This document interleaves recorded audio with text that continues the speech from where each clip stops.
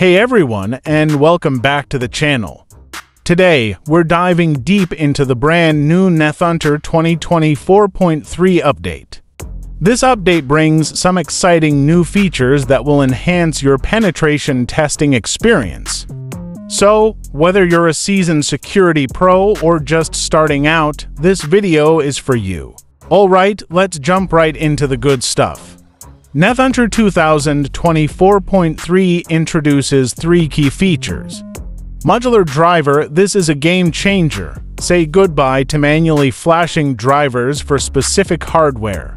With Nethunter 2024.3, you can now load drivers directly as modules within the app. This is especially useful for devices with missing or incompatible drivers. However, it's important to note that this feature is still in alpha stage, so proceed with caution and be prepared for potential bugs. Direct kernel flashing. Ever wished you could flash a custom kernel straight from your Android device? Well, now you can. Nethunter 2024.3 boasts a built-in kernel flashing feature. While it's incredibly convenient, there's a catch. Compatibility is currently unknown. Before flashing, make sure your device is listed as supported to avoid any complications. Remember the frustrating WPS pin crash in the 2024.2 build, its history. The developers have squashed that bug, allowing you to connect to WPS-enabled networks seamlessly.